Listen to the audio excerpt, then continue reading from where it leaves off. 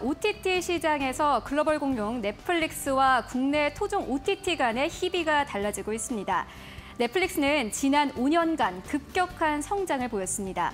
주가가 성장성을 반영하는데요. 지난 5년간 넷플릭스의 주가는 무려 500% 이상 상승했습니다.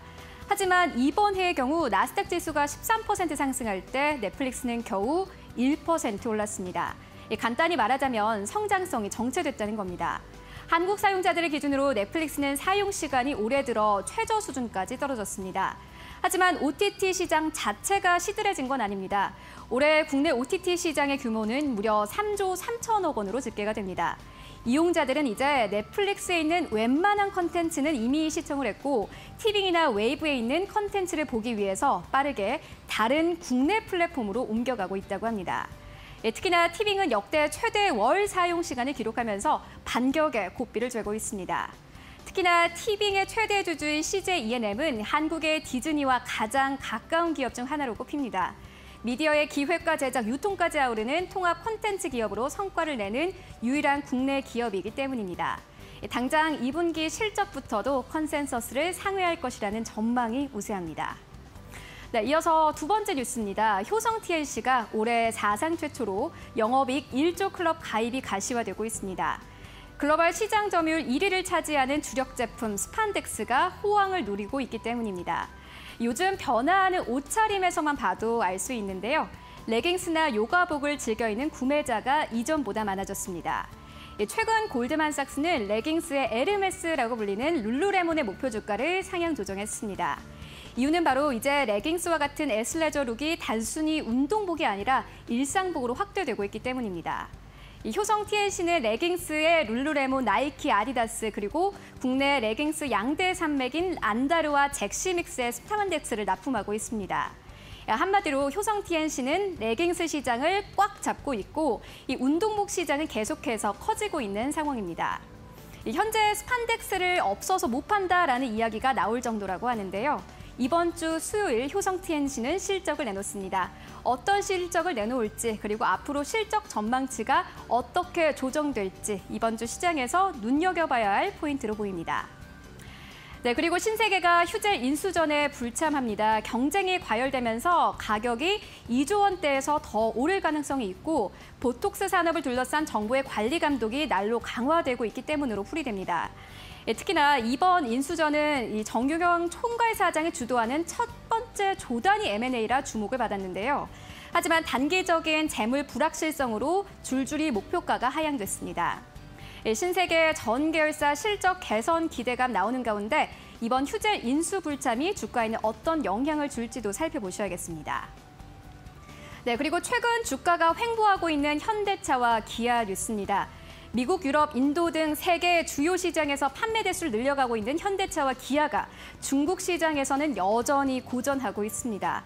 어제 중국 측에서 내놓은 지표에 따르면요. 올해 상반기 현대차와 기아는 중국에서 지난해 같은 기간과 대비해서 10.8% 감소한 24만 9천여 대를 판매했습니다. 코로나19 사태 이전인 2019년 상반기 중국 판매량에 비하면 40% 이상 감소한 수치입니다. 현대차와 기아가 제시한 올해 판매 목표치에 한창 못 미치는 수치고 이대로 판매가 이루어진다면 목표 달성은 불가능해 보입니다. 예, 지난 2017년 사드 여파로 판매량이 줄어들면서 중국에서 꾸준히 판매량이 감소되고 있습니다. 예, 중요한 건 중국 현지 업체들에게 친환경차 주도권을 빼앗기고 있다는 겁니다. 예, 글로벌 전기차 시장의 최대 규모인 중국 시장에서 점차 낮아지는 점유율은 고민거리입니다. 이에 현대차와 기아는 최근 중국 조직을 대대적으로 개편하면서 분위기 반전에 나섰습니다. 앞으로 현대차와 기아가 중국 시장 선점 위에 어떤 투자와 개편을 할지 살펴봐야 할 필요가 있어 보입니다. 네, 그리고 해상과 항공 화물 운임이 계속 강세를 보이고 있습니다. 해운업계에 따르면 해상 운송 항로의 운임 수준을 나타내는 상하이 컨테이너 운임 지수는 지난 금요일 2009년 10월 집계를 시작한 이래 최고치를 기록했습니다. 예, 특히 국내 수출 기업들이 주로 이용하는 미주와 유럽 노선 운임이 크게 올랐습니다. 이 계절적 영향과 이른바 보복 소비 여파로 물동량이 늘어나고 적재 공간 부족이 계속되는 상황에서 유가 상승까지 더해지면서 해상 운임은 모든 노선에서 지난해 4배 넘는 폭등세를 이어가고 있습니다. 네, 이렇게 해운대 한란이 이뤄지는 가운데 HMM은 미주로 향하는 임시 선박 한 척을 투입했다고 지난 주말에 밝혔습니다. 처음으로 농수산 수출품을 선적했는데요. HMM은 이달에만 7척의 임시 선박을 투입했습니다. HMM 이번 분기에도 영업이익 1조 원을 넘길 것이라는 전망이 우세합니다.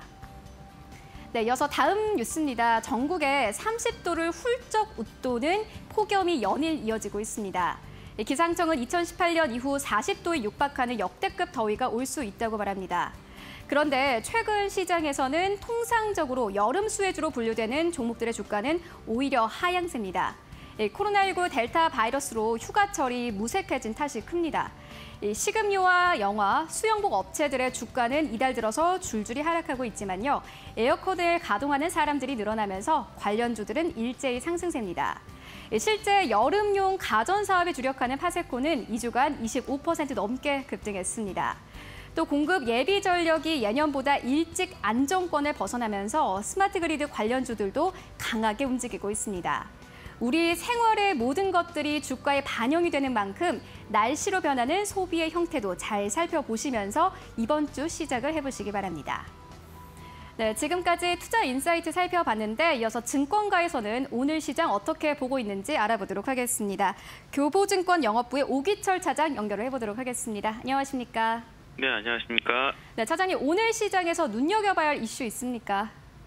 네, 일단 지난 주말이죠. 이제 16일 우리나라 시간으로 이제 16일 날 발표되었었던 아 인텔의 이제 글로벌 파운드리 인수 추진과 관련된 아, 이슈를 다시 한번 좀 다뤄볼까 합니다.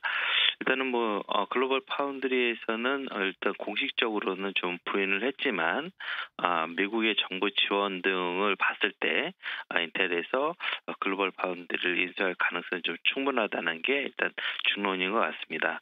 일단 규모는 약 300억 달러 정도로 예상이 되고 있고요.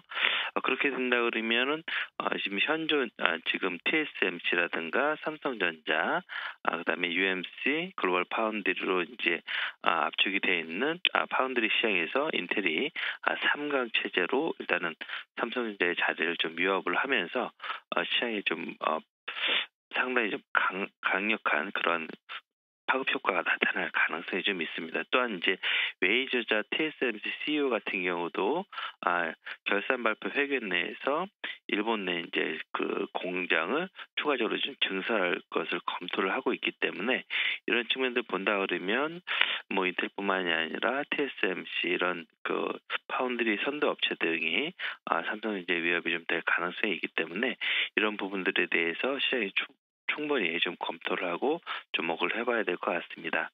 아, 다만 이제 인텔의 파운드리 경쟁력에 대한 의문은 여전히 갖고 있습니다. 일단 첨단성 수준으로 보게 되면 약 5년 정도 좀 차이가 있기 때문에 아, 일단은 뭐 지금 기술적인 차이로 있어서는 약간은 안심이 되지 않느냐는 그런 의견이 있을 수 있지만 아, 그 외에도 뭐 그렇게 크게 기술력이 필요하지 않는 뭐 차량용 반도체라든가 이런 부분들로도 갈 수가 있기 때문에 일단은 좀 부담이 되는 것은 좀 사실인 것 같습니다. 그렇기 때문에 일단 이런 부분들을 아, 주목해서 보셔야 될 것 같고 이번 주 이제 어, 주요한 반도체 업체들이 이제 어, 실적을 발표를 하고 앞두고 있는데요. 19일 날 IBM과 그다음에 21일 날 텍사스 인스트루먼트하고 ASML 업체, 그다음에 인텔이 이제 실적을 좀 앞두고 있어서 어, 이런 회사들이 어떻게 실적을 발표하냐에 따라서 어, 국내 이제 반도체 업체들의 움직임들이 일단은 좀 어, 결정될 것으로 보여집니다. 특히 이제 그 반도체 노광 장비 공급사인 ASML 같은 경우 비메모리 선단 공정의 미사에 좀 기여를 할 수가 있기 때문에 이 기업에 대한 실적을 좀 주목을 좀 받고 있, 있습니다.